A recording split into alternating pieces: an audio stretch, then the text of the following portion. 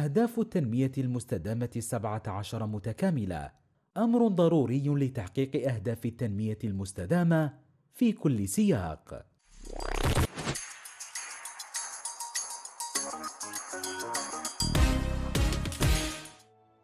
اعتمدت جميع الدول الأعضاء في الأمم المتحدة في عام 2015 أهداف التنمية المستدامة باعتبارها دعوة عالمية للعمل على إنهاء الفقر وحماية الكوكب وضمان تمتع جميع الناس بالسلام والازدهار بحلول عام 2030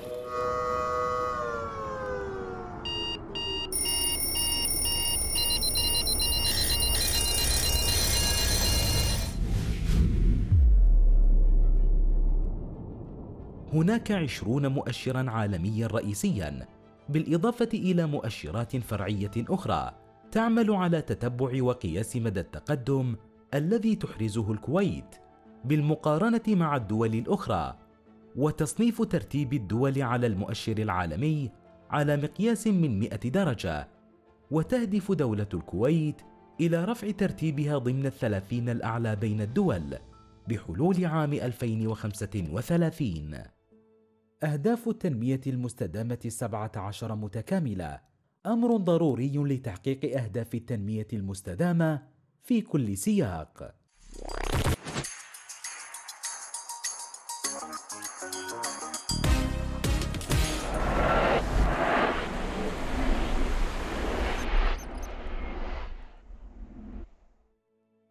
لا يوجد نبات أثار حيرة القدماء والمعاصرين مثل نبات القرم مونغيرف. فقد تفرد بالحياة على شواطئ البحار المالحة واختلفت الآراء في أصله وتنافست المجتمعات الساحلية والدول الاستعمارية على حصاده والبحث في تاريخ القرم يستدعي منا أن نتابع التاريخ الجيولوجي لبيئته والجغرافيا القديمة للبحار والمحيطات والتغيرات التي حدثت في أسلاف القرم عبر الزمن. حتى نصل إلى علاقة الإنسان به منذ القرون الأولى لوجوده على الأرض وحتى الآن. طبعا أشجار القرم أو اللي يسمونه المنجروف تعتبر بالنسبة لنا من أهم الأشجار اللي آه، تساهم في حماية البيئة البحرية وتحميلنا الشواطئ آه، من التفكك وتحميلنا المخلوقات اللي تقريبا يعني تعتبر بالعشرات من أنواع الأسماك إلى قشريات إلى ربيان تستوطنها الطيور فتعتبر منظومة بيئية متكاملة مهمة جدا وللأسف آه، الكثير ما يدرك أهميتها. فيعني نشوف مثل آه، إنها قربت إلى الانقراض أو غابت عن كثير من المناطق في الكويت. آه، علما بأن أغلب دول العالم تحرص عليها وتطلق العديد من البرامج لزراعتها وحمايتها. أشجار القرم هي أشجار معمرة؟ آه، ملحية أي تتحمل آه، درجات ملوحة عالية. آه، وتستوطن المناطق الاستوائية وشبه الاستوائية. هي أشجار جدا فريدة تكون أو تعيش في مناطق المد والجزر أو في السبخات لها ميزات عديدة في مجال المحافظة على البيئة واستدامة المنظومة البيئية. تنتمي أشجار المانغورف إلى فصيلة حاملات الجذور وتنمو هذه الأشجار في الغابات الكثيفة أو الغابات التي تمتد على طول مصبات المد والجزر إضافة إلى أنها تنمو في المستنقعات المالحة والسواحل المالحة. تمتاز بجذورها القوية والداعمة والمكشوفة عن الأرض إضافة للجذور المتواجدة أسفل التراب. طبعا أشجار المانجروف آه، فيها عدة فوائد. اولا هي تحمي الحياة البحرية الصغيرة؟ يعني تعتبر كملجأ للأسماك الصغيرة تحتمي فيها من الأسماك الكبيرة.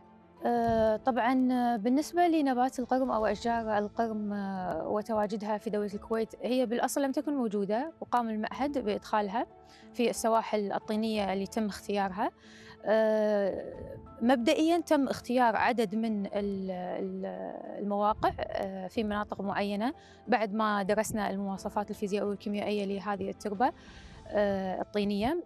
فتم اختيار مناطق اللي هي صليبيخات والدوحة والصبية وموقعنا في الشويخ. حاليا نبات القرم من بعد 30 سنة من أول ما قام معهد الكويت للأبحاث العلمية بإدخالها في دولة الكويت. حاليا لا يوجد يعني هذه المواقع آه، غير موجود فيها نبات القرم. يعني لم يعني فقدنا آه، أشجار من هذه المواقع.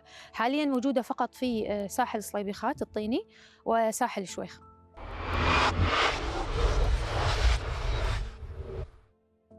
شجرة المنغورف هي ذات جمال فريد يميزها عن باقي الأشجار تبدو للوهلة الأولى من بعيد كشجرة خضراء عادية لكننا عندما ندنو منها تفاجئنا بجذورها المتشعبة كأرجل العنكبوت وما يفاجئنا أكثر هو أن هذه الجذور تغور فيها مياه البحر المالحة. فهي بذلك تنمو في بيئة يصعب على غيرها من النباتات أن تنمو فيها فالملوحة الشديدة وتغير مستوى الماء في حركة المد والجزر المتواصلة والعواصف القوية التي تهب على السواحل تترك بصمة على تركيبة هذه الشجرة والغابات التي تضمها. آه، نفس ما نعرف أشجار القرم هي نباتات ساحلية تنمو في بيئة ذات آه، تربة رملية طينية. وهي تعتبر نظام بيئي متكامل آه، يساعد في تكاثر القشريات والكائنات البحرية. كذلك هي تعتبر ملجأ للطيور. آه، أشجار القرم تنمو في منطقة المد والجزر. وما تحتاج أي عناية زراعية. هي من النباتات اللي تتأقلم مع الظروف البيئية اللي موجودة فيها. الاسم العلمي للمانغورف هو أفاسينا مارين. أما الاسم الشائع فهو مركب من كلمتين. الأولى برتغالية مانجو وتعني الشجرة والثانية إنجليزية غورف وتعني منبت الأشجار. تنمو غابات المانغروف في مناطق عديدة حول العالم وتضم إندونيسيا وأستراليا.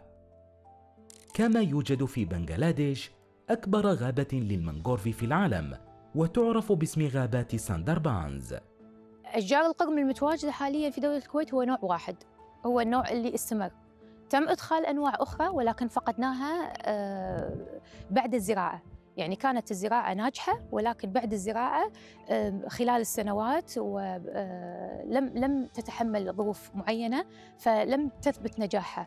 لذلك آه، عندما وجدنا أن النوع الرمادي أو الأفاسينا مارينا هو النوع الأصلح لدولة الكويت قمنا بإدخاله في مناطق أخرى لأن يعني آه، تقريبا قمنا بعمل دراسات لأكثر من نوع وهذا النوع هو اللي أثبت نجاحه. من بين أكثر من ثمانين نوعا من أشجار المنغورف في العالم فإن الوطن العربي تحديدا تحتضن أربع أنواع منها. تتوزع ما بين ساحل البحر الأحمر الغربي مصر والسودان. إحنا نعرف إن نباتات القرم آه، له أنواع معينة لكن النوع السائد في آه، الخليج العربي أو منطقة الخليج العربي هو نوع أفيسينا مارينا. هو اللي كان موجود في دولة الكويت وحاليا موجود في دول الخليج. آه، في أنواع ثانية طبعا على حسب الظروف البيئية والمناخية للنبات تختلف الأنواع لكن النوع اللي غالبا سائد في آه، منطقة الخليج العربي هو نوع الآفيسينا مارينا وهي البذور اللي قاعد يتم استيرادها وزراعتها في دولة الكويت. بعض الدول عندها أنواع ثانية. نظرا لظروفها البيئية لكن في دولة الكويت آه، قاعد نستخدم اللي هو يتم استزراع آه، نوع أفيسينا مارينا. تنمو أشجار المانغورف في المناطق الاستوائية المدارية وشبه الاستوائية وتحديدا في البيئات الساحلية المالحة أو قليلة الملوحة وقليلة التعرض نسبيا للأمواج العنيفة. كالخلجان الصغيرة المنتهية إلى السواحل كونها تساعد في كسر قوة الأمواج المدمرة للنباتات الصغيرة والبحيرات ومصبات الأنهار أو المناطق الضحلة في الجزر القريبة من السواحل وتزرع عند الحدود الفاصلة ما بين البحر واليابسة وتحتاج مستنقعات مائية غنية بالمواد العضوية لتنمو بشكل صحي إذ يمكنها العيش كذلك في الرمال الخشنة قليلة المسام ولا يضرها أن تكون هذه الرمال مكسوة بالطين. كما أنها تنمو من غير المشاكل في بعض المناطق التي يقل تركيز الملوحة فيها. يعني ذكرت حسب ما ما ذكرت في الجنوب والشمال لكن شوهدت في الان مثلا محميه الصبية جهة البحر موجودة في المنطقة المحمية آه، كانت موجودة في بعض. الجزر ذكرت في جهة الشعيبة أو بحر الزور كانت موجودة. لكن الآن للأسف مثل ما قلنا في الأماكن اللي ما هي محمية ما راح تحصلها. موجودة الآن أيضا في محمية الجهرة وشاركنا مع الأخوة المشكورين في هيئة البيئة في زراعة بعضها. آه، أيضا الأخوان في معهد الأبحاث زارعين كمية جهة الشويخ لكن لا زالت كميات ما هي على قدر الطموح. المنغورف شجرة دائمة الخضرة يتراوح طولها ما بين ثلاثة وخمسة أمتار. وفي بعض الحالات يصل طولها إلى عشرين مترا. أوراقها رقيقة متقابلة الشكل هودوجية أو سميكة خضراء اللون مدهامة متصلبة الشكل وللنبتة قدرة على تحمل درجات الحرارة والرطوبة العالية ودورات المد والجزر. وحين تزهر فإن لأزهارها لونا برتقاليا زاهيا أو أصفرا محمرا رائحته مميزة جدا. وأما ثمارها فإما قلبية الشكل أو مخروطية ويلاحظ أن هناك العديد من الأشجار التي تنمو تحت تأثير الظروف نفسها وتشبه في شكلها شجرة المانغورف وتسمى خطأ بذلك ولكن التشابه الفسيولوجي لا يعني أنهما تنتميان للجنس نفسه. نبات القرم أو أشجار القرم آه، لها أنواع كثيرة ومتعددة ما يقارب 70 نوع في العالم. أشهرها هو الأفاسينا مارينا أو النوع الرصاصي أو الرمادي اللي هو متواجد حاليا يعني يغلب عليه في دولة الكويت. هو النوع الناجح في دولة الكويت ويتميز أن يعني طبعا أشكالهم تختلف وعشان كذي يعني العلماء يقدرون أو الباحثين يقدرون يفرقون بين هذه الأنواع. يعني مثلا النوع الرمادي اللي عندنا حاليا يكون عنده أغصان كثيفة ويعني شكله كثيف الأوراق بينما الأنواع الأخرى يعني يختلف أشكالها وممكن طوله يصل إلى 2 متر. نفس عندنا في شاطئ الصليبيخات أو سواحل الصليبيخات آه، تقريبا طوله واصل إلى مترين. نتيجة يعني عقب آه، تقريبا ما يقارب أكثر من 22 سنة. يعني آه، هذه الشتلات تنمو ويرتفع طولها. تتميز شجيرات المانغورف بأنها تنمو كمجموعة صغيرة ممتدة من الغابات الصغيرة تشبه في شكلها شجرة كبيرة متشابكة. ويمكن العثور على هذه الغابات في البيئات الساحلية حيث الرواسب الدقيقة الناعمة ذات المحتوى العضوي والمتشكلة في المناطق المحمية من حركة الأمواج وديناميكية المد والجزر بحيث تترسب من دون أن تنجرف بعيدا. هذا الحين مثل ما تشوف الحمد لله رب العالمين عندنا الحمد لله موجود. يعني قدرنا قدرنا نعيد توطينها بالكويت.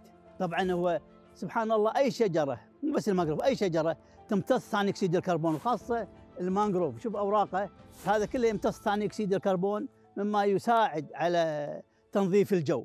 لا الكويت ما فيها محميات مانجروف بعد. النية موجودة يعني إن شاء الله راح تصير في محمية الجهرة تتطور وتصير, بهذا العدد. هذا إن شاء الله النية موجودة بإذن الله تعالى. الفوائد للأشجار بصورة عامة كبيرة والمنجروف بصورة خاصة الآن. أول شيء هو يحافظ على آه، شواطئنا وتربتها من التفكك والاندثار. الأمر الآخر مثل ما قلنا يعتبر منظومة بيئية متكاملة يستوطنها أنواع من السمك، من القشريات، الربيان، أنواع من الطيور، أنواع من الزواحف وعدا ما شاء الله إنه منتج كبير للأكسجين، الصورة الجمالية اللون الأخضر، تشجيع الناس على حماية البيئة والاهتمام فيها، فهو مثل ما قلنا هو منظومة بيئية متكاملة في حال غابت هذه الشجرة تفقد كل ما كان موجود داخلها بالإضافة إلى تفكك تربتك وتدمير شواطئك والاثار السلبية اللي قاعد نشوفها حاليا للأسف في بعض مناطقنا. هناك ثلاثة أنواع من المانغورف وهي المانغورف الأحمر والمانغورف الأبيض وأخيرا المانغورف الأسود ويسهل التمييز بين هذه الأنواع لوجود اختلافات بينها فبعض أصناف المانغورف هي أكثر مقاومة للأملاح من الأصناف الأخرى كما أن كل صنف يتميز بآلية خاصة تمكنه من التخلص من الأملاح الزائدة. كانوا الاوليين أول يستخدمونها كحطب للوقود والإبل وما الإبل اللي تعيش على الشواطئ أيضا ترعى فيها. يعني أيضا مفيدة حق الإنسان. يعني مثل ما سولفنا إحنا اليوم إن الأشجار آه، تعتبر منظومة واحدة. إذا كان في خلاف فممكن يختلف مثلا إذا كانت على مثل الكويت والله على على الجون أو على خليج أو على محيط أو على بحار مفتوحة لكن بالنهاية هي متقاربة وهي أنواع تؤدي نفس الدور وتخدم نفس الطبيعة. لأشجار المنغورف جذورا هوائية متوسطة الطول تنمو من السوق الروزمية المغمورة بالماء تحت سطح الأرض. إلى ما فوق سطح الماء. فحاجة أشجار المنغورف إلى بيئة بحرية مالحة قليلة الأكسجين لتنمو، ويوجد لديها هذه الجذور التنفسية الهوائية النامية من أسفل إلى أعلى، بعكس ما هو متعارف عليه لتنمو جذور النباتات الأخرى، وظهور هذه الجذور فوق سطح الماء هدفه أن تتمكن من توفير الأكسجين اللازم للعمليات الحيوية الكافية.